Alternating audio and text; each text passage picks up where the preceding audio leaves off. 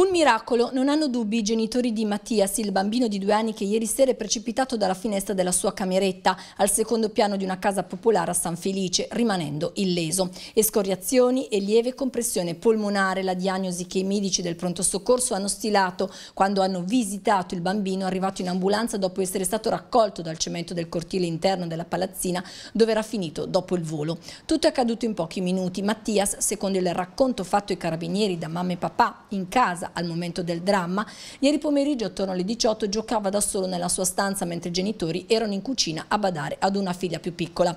Non si sa come il bimbo è riuscito a salire in cima ad un mobiletto sistemato proprio sotto la finestra aperta per la calura. Da lì ha raggiunto il davanzale, forse si è sporto troppo perdendo l'equilibrio e finendo di sotto dopo un volo di quasi 5 metri. Un volo nella maggior parte dei casi letale.